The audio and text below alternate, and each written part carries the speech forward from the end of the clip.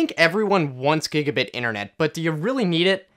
Google Fiber has been rolling out into cities all across America, and wherever they do, the internet companies and competitors always pretty much raise up the maximum bandwidth cap to match Google Fiber and try to compete with it. We know that these companies can provide gigabit internet, but most of the time they just don't and argue that people don't need it. According to Ookla, the company that runs speedtest.net, the average American download speed is 37 megabits per second, and the worldwide average is 24.3. Now, this is actually higher than I expected. The upload speeds are lower. The USA is 11.9 up, and average for the world is 11.2. And at this point, I just want to clarify that 1 megabit per second is not the same as 1 megabyte per second. There are 8 megabits per second in 1 megabyte per second, and that's because there are 8 bits in a byte. So to download a 1 megabyte file on a 1 megabit connection would take 8 seconds. Now that aside, do you really need a whole gigabit? That's crazy fast.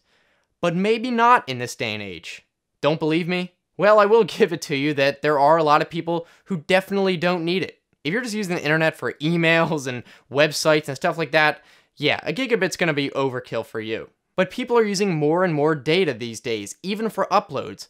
There are a lot of online backup sites that'll back up your whole hard drive. That's gonna be tough on an 11 megabit up connection. Photos and videos, for example, are getting bigger and bigger every day and take longer to upload and download. And if you download a lot of games, then you probably know they take a long time. And if you have a capped internet connection, you might not be able to download big games at all. And you might say, well, I don't download that much. That might be true, but when that big file comes around that you need to download, you don't want to be sitting around for hours waiting for it. And I think that's the main benefit for gigabit internet. It's not for day-to-day use, it's for when you want to download that big giant thing and don't want to wait. Take for example Grand Theft Auto 5, which was released in the last year, it's 65 gigabytes if you were to download it for PC. At the average US speed of 37 megabits per second, that would take 4 hours about. And that's assuming you get the maximum speed the whole time, and we know how often you get that. Also keep in mind that that's the average, so half the people are slower than that. Now, if you were on a gigabit connection, on the other hand, those 65 gigabytes would only take 8 minutes and 40 seconds to download. That's probably faster than driving to the store and back and buying it. And let's do a bigger example. Say you want to back up your entire hard drive onto an online service.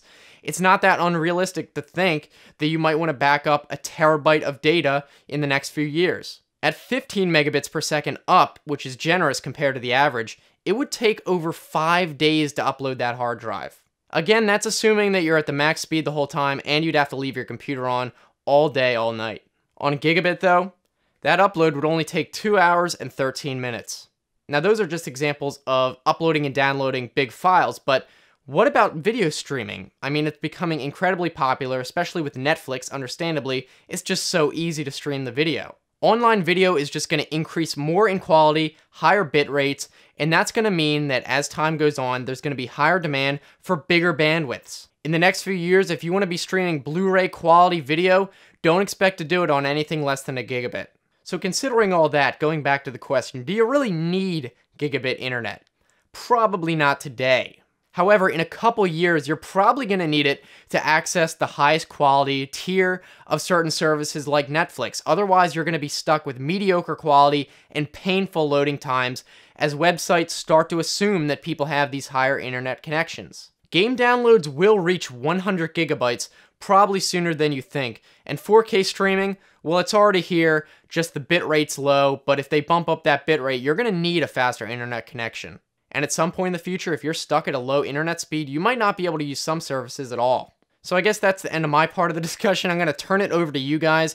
Leave a comment. I want to hear what you guys think about gigabit internet. Would you instantly buy it if it was available? I mean, most of the time, Google Fiber is cheaper than even the slower connections that you might be paying for now. And maybe, I don't know, you definitely don't need gigabit at all. Who knows? Let us know. If you guys thought this was a good discussion, you can go ahead and give it a thumbs up if you like. You can also subscribe if you're interested. I'm going to be trying to put out more videos a week, at least two videos a week, maybe even three. So it's definitely worth it to subscribe. And if you want to check out some other videos, those will be on the right-hand side if you're interested. So as usual, thanks for watching, guys. I will see you next time. Have a good one.